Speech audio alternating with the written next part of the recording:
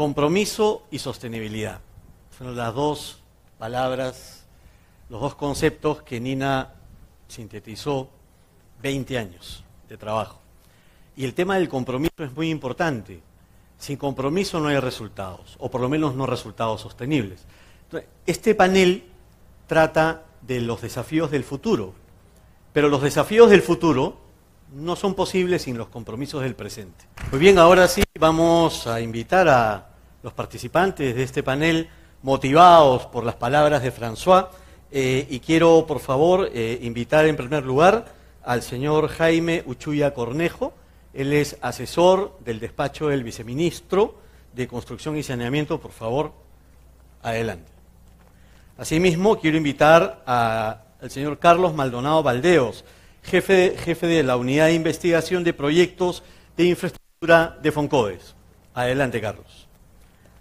Por favor, también invitamos al señor Juan Manuel Flechas Hoyos. Él viene de Colombia y es coordinador del Grupo de Política Sectorial del Viceministerio de Agua y Saneamiento Básico del Ministerio de Vivienda. Adelante, por favor, bienvenido. Al señor Rui Gomide Barreira, director del Departamento de Ingeniería de la Salud Pública de Brasil. Y haremos el gran esfuerzo de poder entendernos en portugués, en español o en portuñol. Bienvenido. Y por supuesto nos acompaña Cesarina Quintana, quien nuevamente va a apoyarnos con ideas y conceptos en este panel de los desafíos SABA hacia el futuro. Adelante, Cesarina.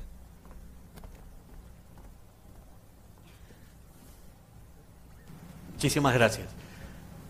Muy bien, vamos, vamos a utilizar una dinámica parecida, pero obviamente en este, en este espacio queremos hablar un poco de los desafíos, ¿no es cierto? De los desafíos eh, en el futuro.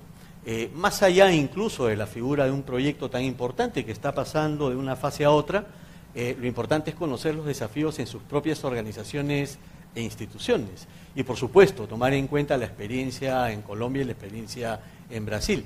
Pero vamos a comenzar con eh, la experiencia, pero también con las decisiones y con las ideas que deben estar seguramente eh, construyéndose en el, en el sector propiamente, mirando los desafíos de agua y saneamiento rural para los próximos años. ¿Qué nos puede explicar al respecto? Bien, como dijo nuestro ministro, eh, el déficit, eh, digamos, la cobertura que tenemos actualmente en, saneamiento rural es el 70-71%. Eh, digamos que la población rural son aproximadamente 8 millones, 500 mil personas.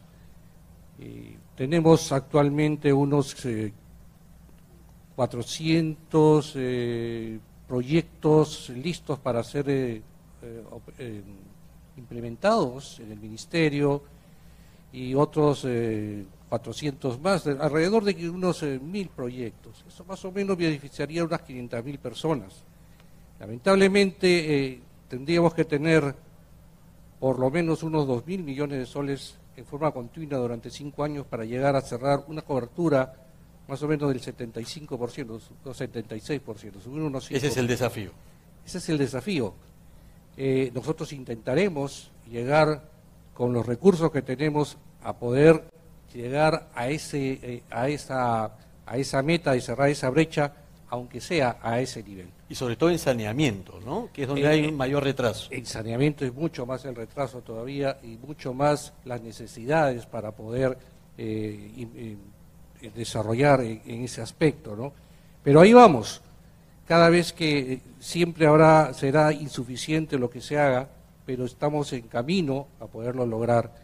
Y en realidad eh, necesitamos mucho apoyo, eh, sobre todo eh, en la parte, como dijeron ahora en el, en el, en el comité que estuvimos este, en la mañana, estamos hablando de que necesitamos tener una transversalidad entre todas las organizaciones nacionales para poder llegar a concretizar eso y, sobre todo ayuda para que estos, eh, digamos, se puedan mantener estos, estas infraestructuras, ¿no?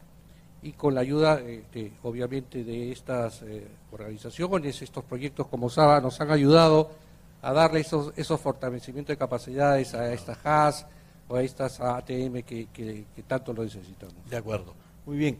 Eh, ¿Y qué nos cuenta en su sector? Eh, hay un tema de infraestructura importante ahí, el desafío también es enorme y por supuesto está amarrado a toda la política. ¿Qué nos comenta? Buenas noches. El MIS a través de Fonjodes tiene un encargo que es a través, en el marco del decreto legislativo 1274, intervenir en proyectos que se denomina OAMAS, que consiste en la rehabilitación, reposición, operación y mantenimiento de sistemas de agua y saneamiento. ¿no? Y la finalidad de esta intervención es reducir, pero reducir la calidad en que vienen funcionando estas intervenciones con énfasis en lo que es la cloración. Eh, en el año 2017 hemos intervenido en 154 sistemas por un monto aproximado de 23 millones. En 2018, este año, estamos por implementar 124 sistemas por un monto aproximado de 20 millones y tenemos una proyección al bicentenario de llegar a 1.300 sistemas de agua con una inversión de algo de los 220 millones. Pero acá hay, este, tenemos dos puntos por definir. Y en estos dos puntos por definir es que eh, justamente acá está el sector para que nos ayude. El primer punto es que eh, este, el Ministerio de Economía, a través de, un, de unos lineamientos para identificación de las, para identificar las IAR, ha sacado este, una definición de lo que es la rehabilitación. Con esta definición eh, no nos está permitiendo eh, cumplir el encargo que nos han dado a través del decreto legislativo. Eh, esto le hemos alertado al Ministerio de Vivienda y Construcción para que ellos hagan una definición entre lo que es este, rehabilitación y un proyecto de recuperación. Esto lo alertamos el año pasado, pero venimos coordinando, pero hasta la fecha todavía no, no se define es un punto. Y otro segundo punto también es este, lo, que, lo que acaba de hablar eh, este, el constructor, precisa que es brecha, ¿no? Porque el sector, es cierto, este, eh, interviene con brechas. En el encargo que ha recibido este Foncodes es eh, el déficit, pero no se ha calculado todavía cuál es ese déficit por intervenir.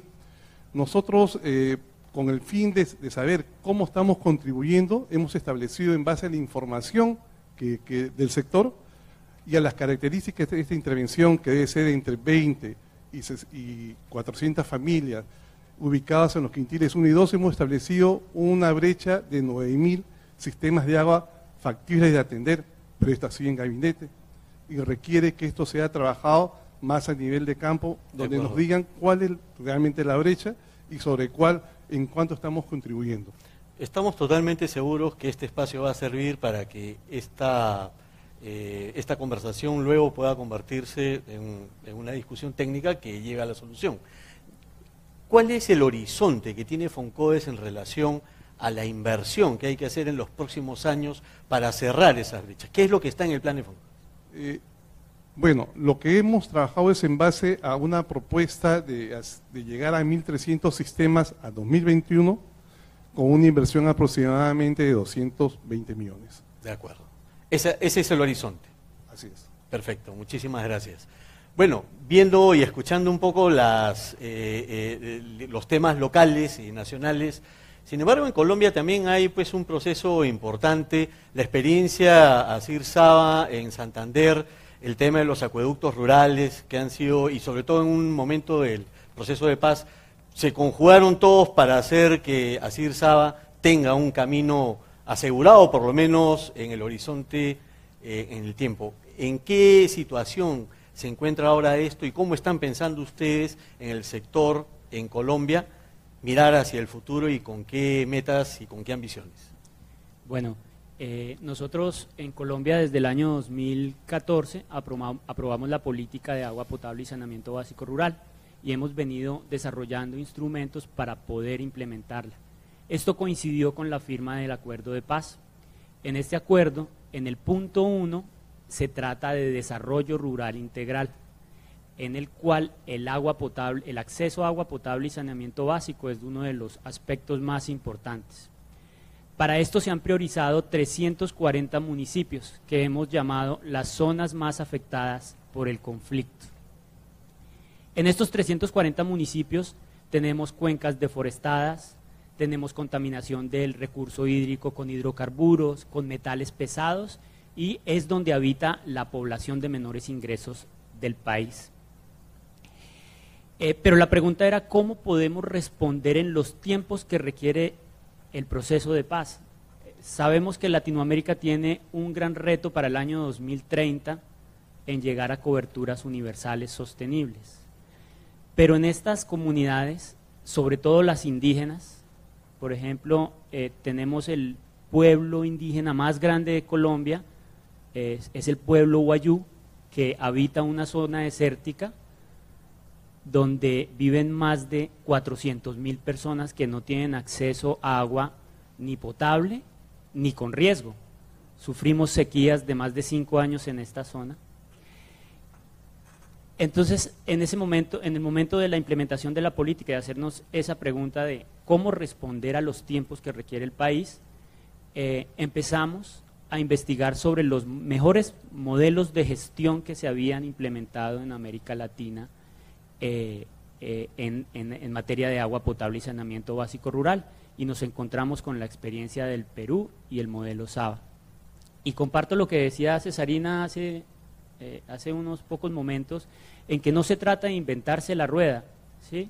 es cuestión de adaptar los modelos, las mejores prácticas, en el marco de unas políticas de largo plazo de Estado, en el cual existe un compromiso, una articulación intersectorial con agricultura, salud, agua potable, de tal forma que podamos llegar a, con proyectos integrales a esta, a esta, a esta población. Adicionalmente también este año estamos estrenando el mecanismo de obras por impuestos, que también es una experiencia peruana. Eh, estamos llegando a estas zonas más afectadas por el conflicto con el mecanismo.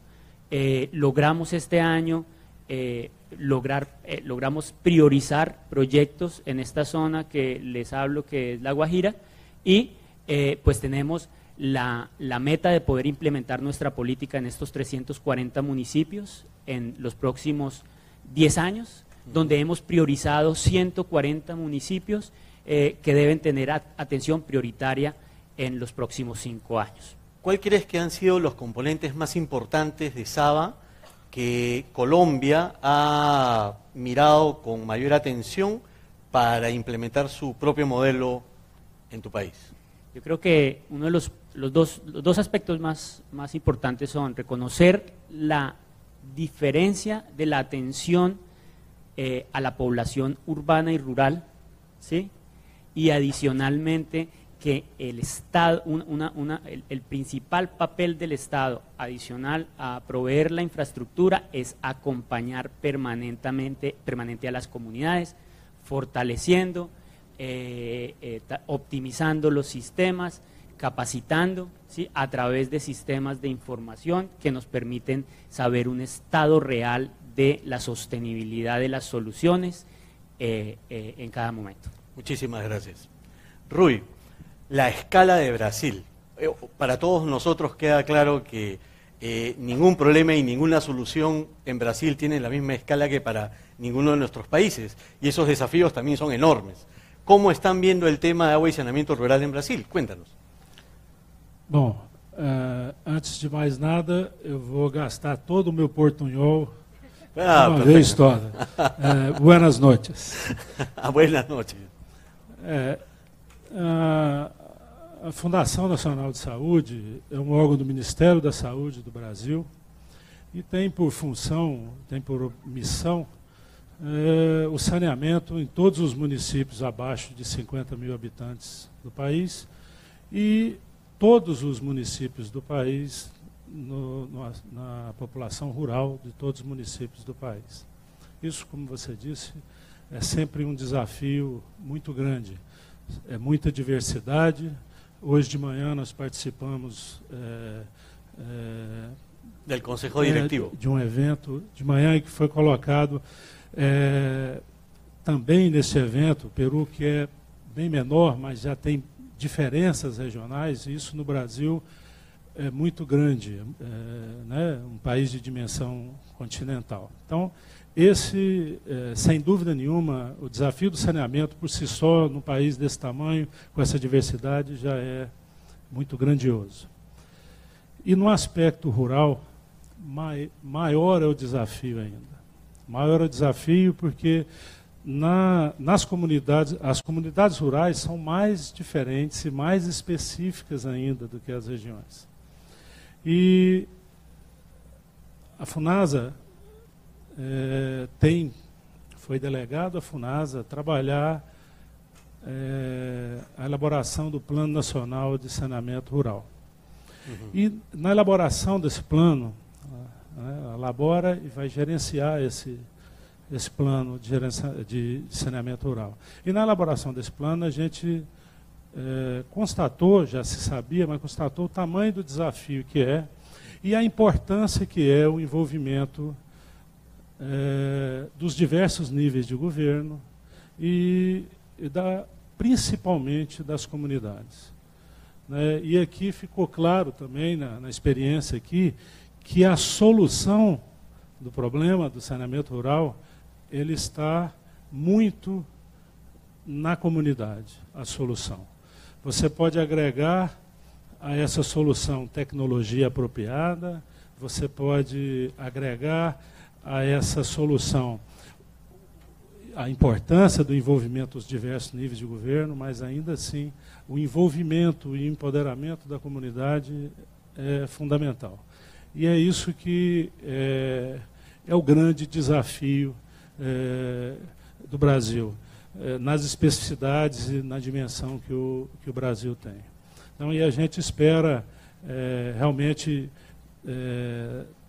assim, trabalhar, buscar essa parceria que, que o Peru desenvolveu aqui com a Consud. A gente veio, a expectativa nossa toda é buscar essa parceria é, a gente entende que esse é o caminho, uma similaridade é, com que é, a gente já enxerga as, as, possíveis soluções, com as soluções que foram aplicadas aqui, que foram trabalhadas aqui. É claro que é, trabalhando e encontrando as especificidades dessas soluções, é, conjuntamente com essa parceria, com essa dedicação que que, que a gente percebeu aqui, o envolvimento da, de toda a comunidade, é assim que a gente, é, sem dúvida nenhuma, que, com, com, com, esse trabalho a gente enxerga é, um, o desafio é grande, mas a gente enxerga um, um horizonte promissor. Né?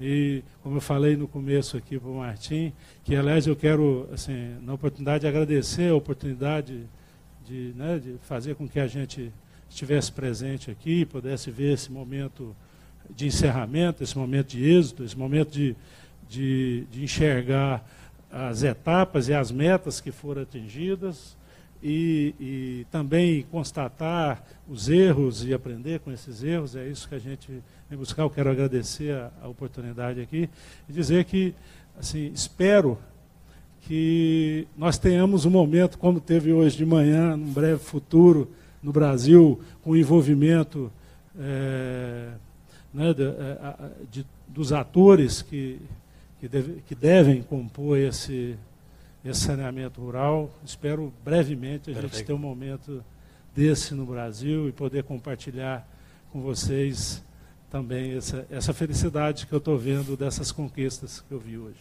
Estamos seguros que así va a ser. Muchísimas gracias, Rui. Y bueno, Nina, Nuevamente nos enfrentamos a los desafíos. Perú, Colombia, Brasil. ¿Qué cosa es lo que se está pensando en Saba en el siguiente escalón? Bueno, después de 20 años de, validación de todo un enfoque en el cual hemos aprendido todos, pero también eh, somos conscientes de que es algo complejo y hay que aceptarlo como tal. Sin embargo, yo quisiera destacar eh, de las intervenciones previas de que eh, ellos, justo el desafío de las autoridades en los países es el corto y el mediano y largo plazo. Eh, bien mencionaron en el caso de Perú, tienen ya metas, tienen planes establecidos, que son los documentos estratégicos, que guían las políticas de los países, pero sin embargo tienen que dar resultados pronto. Pero al mismo tiempo también se destaca eh, también el apoyo, como en el caso de Brasil, de la importancia también de la academia al servicio del desarrollo, porque es el vehículo para poder justamente eh, elaborar los diagnósticos, eh, pensar las estrategias como una reflexión conjunta, porque en el saneamiento somos todos, es la base del desarrollo. Y yendo estrictamente a tu pregunta, lo que nosotros pensamos, cerramos un capítulo, pero abrimos otro de seguir capitalizando ese aprendizaje a otros contextos.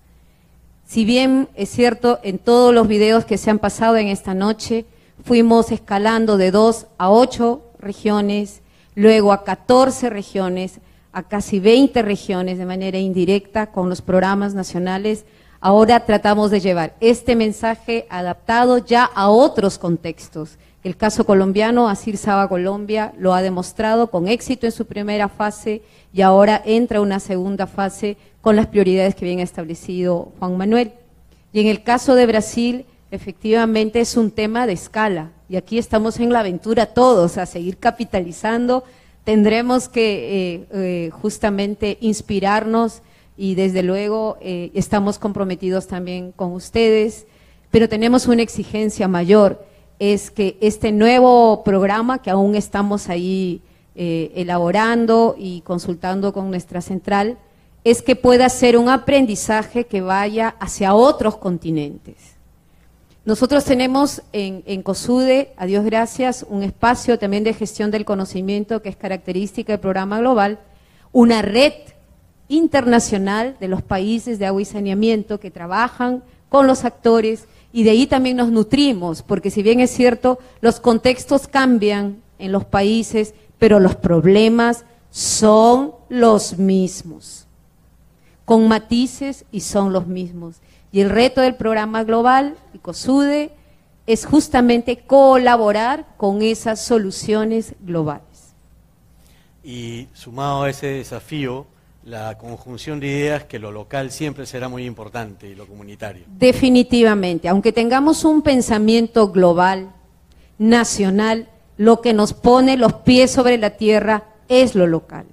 Siempre decimos, si queremos lograr el impacto, el escalamiento, no podemos perder los pies en la tierra. Y eso lo pone lo local, la municipalidad, las comunidades empoderadas. Si no, es un gran libro, es un gran discurso no aterrizado. Muchísimas gracias, Nina. Como todos pueden apreciar, estamos en, justamente en el momento de esta historia que estamos contando esta noche, donde Saba está creando un concepto y una visión, pero que es la sumatoria de todos estos aprendizajes y acciones concretas que, como podemos ver en este panel, no solamente están en Perú, sino también en Colombia y en Brasil y en muchos países más que esperan este desafío. Muchísimas gracias al panel, pido un aplauso para ellos y los invitamos a.